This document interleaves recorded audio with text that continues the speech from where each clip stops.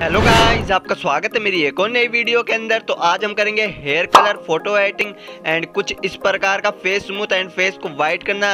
आपको भी सीखना है तो वीडियो में लास्ट तक ज़रूर बने रहना। वीडियो बहुत मेहनत से बनाया गया है तो इस वीडियो को अभी से लाइक कर दीजिएगा। चैनल को सब्सक्राइब करके बेल नोटिफिकेशन को ऑन कर दीजिएगा, ताकि आप लोग को हर रोज इसी तरह का फ़ोटो एडिटिंग का वीडियो देख सके। तो चले बिना देरी के कर लेते हैं वीडियो स्टार्ट सबसे पहले आपको गैलरी में आ जाना है सिंपली अपनी फ़ोटो को आपको ले लेना है। लेने के बाद सिंपली आपको जो शेयर वाला ऑप्शन दिख रहा है, उस पर क्लिक कर देना है और क्लिक करने के बाद आपको स्केच बुक एप्लीकेशन के अंदर भेज देना है। भेजने के बाद आपको सिंपली ब्रश वाले ऑप्शन पे क्लिक कर देना है और सिंपली आपको हार्ड इरेज के नाम से ये ब्रश मिलेगी।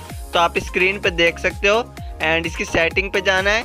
इसकी ओपेसिटी को 100 रखना है साइज़ को आप अपने हिसाब से रख लेना है। एंड सिंपली अपने बैकग्राउंड में आपको ब्रश को चला देना है। तो सिंपली पहले आपको इस प्रकार आपको चला लेना है। चलाने के बाद आपको लेयर वाले ऑप्शन पे क्लिक कर देना है, जो टू कॉपी आइकॉन है। सिंपली उस पर क्लिक करके नीचे आपको बैकग्राउंड का ऑप्शन मिलेगा, उस पर क्लिक करना है। तो वहाँ आइस का ऑप्शन होगा, उस आइस को आपको ऑफ़ कर देना है। ऑफ़ करने के बाद आप देख सकते हो आपका बैकग्राउंड इरेज हो रहा है। तो मैं इसको सिंपली से जल्दी से कर लेता हूँ बैकग्राउंड इरेज उसके बाद मैं आपको दिखाता हूँ।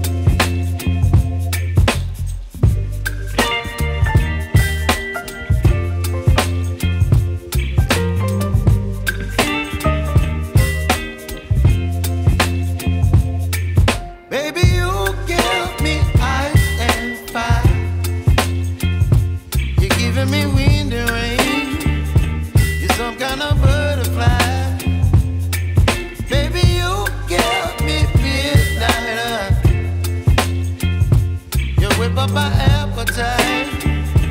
Don't leave me here high and dry.